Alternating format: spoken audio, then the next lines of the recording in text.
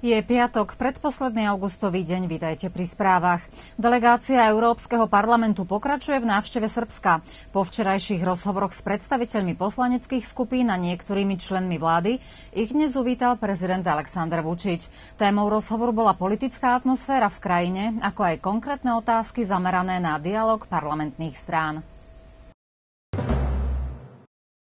Helsinkách pokračuje dvojdňová schôdza ministrov obrany Európskej únie. Ide o neformálnu diskusiu o spoločných zahraničných a bezpečnostných aspektoch regionálnej spolupráce.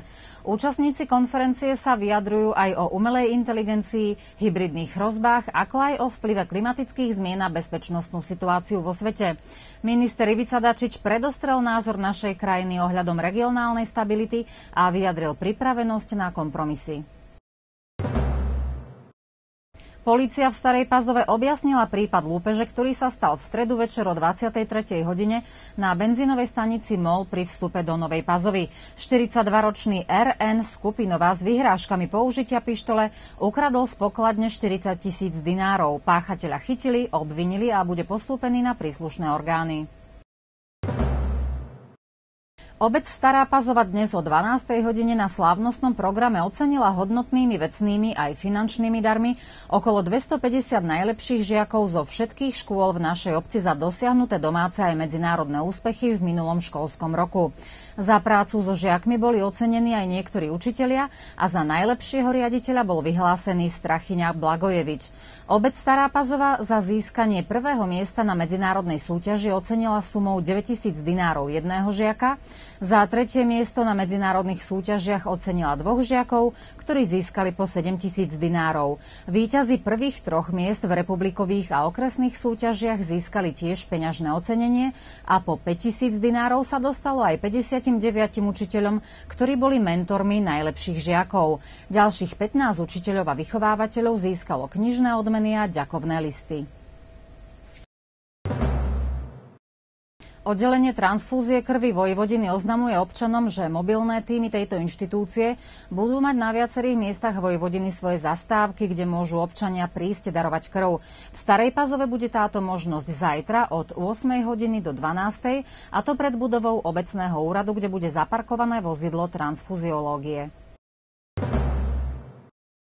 sobotu a nedelu sa v spolku hrdinu Janka Čmelíka uskutoční seminár slovenských vojvodinských choreografov, respektíve nacvičovateľov, ktorých povedie známa staropazovská choreografka Rúžena Červenská.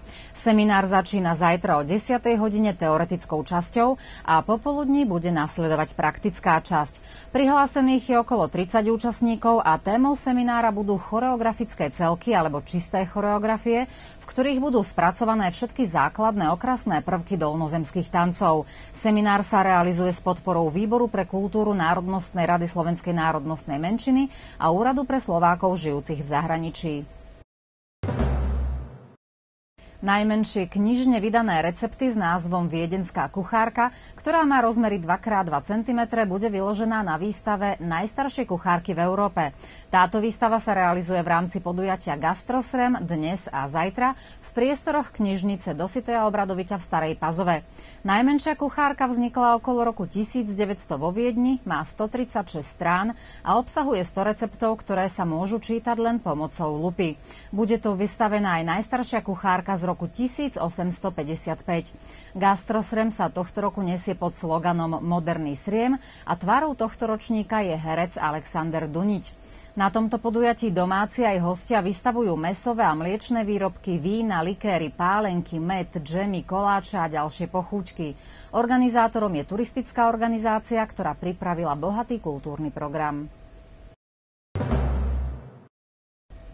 V nedeľu od 9. hodiny na námestí Zorana Dindiča v Starej Pazove bude prebiehať humanitárna akcia, ktorú organizuje Združenie Tata Mate a Červený kríž a cieľom je pri príležitosti začiatku školského roka pomôcť školákom zo sociálne znevýhodnených rodín na území našej obce.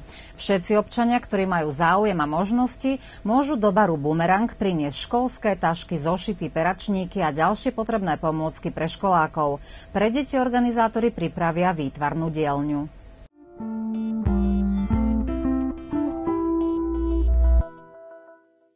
Čaká nás krásne letné počasie, ktoré by mali využiť najmä školáci, keďže je to posledný prázdninový víkend. V sobotu slnečno, teploty od 24 do 36 stupňov, slabý vietor prevažne z juhu.